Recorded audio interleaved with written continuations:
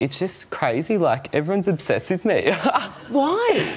I don't know because like I'm obsessed with me, and then that just makes everyone else obsessed with me. So. Gay!